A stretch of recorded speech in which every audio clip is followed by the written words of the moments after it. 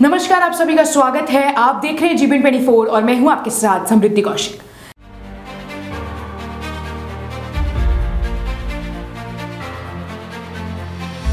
शनिवार को दिल्ली के 14 पंडित मार्ग स्थित भाजपा दिल्ली प्रदेश मुख्यालय में दिल्ली विधानसभा में भाजपा के नेता प्रतिपक्ष राम सिंह भिदुड़ी ने एक प्रेस वार्ता करते हुए दिल्ली सरकार पर भारत के संविधान के उल्लंघन का आरोप लगाते हुए कहा कि उन्होंने तीन दिन का सदन का सत्र बुलाया है।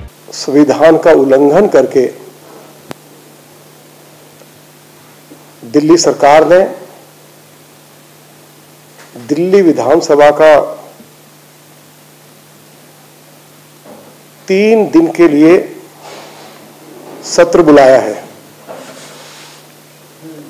हमारा संविधान या जो संसद ने दिल्ली विधानसभा के लिए कानून और नियम बनाए हैं तो कानून और नियम ये कहते हैं कि एक साल में दिल्ली विधानसभा का बजट सेशन भी होगा, मानसून सेशन भी होगा, और विंटर सेशन भी होगा। और जब ये सेशन आयोजित किए जाएँगे इनमें क्वेश्चन वर्ष भी होंगे। और अनेक विषयों पर पक्ष विपक्ष यदि चर्चा करना चाहता है तो चर्चा की भी अनुमति विधायकों को दी जाएगी।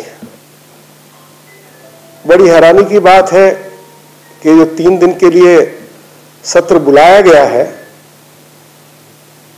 इसमें ना तो क्वेश्चन रखा गया है। हम अरविंद केजरीवाल से पूछना चाहते हैं कि जो विधायकों का संवैधानिक अधिकार है, संविधान ने दिया है, कि जब सत्र होगा तो उसमें क्वेश्चन ओवर मस्ट है। क्वेश्चन ओवर नहीं रखा गया है।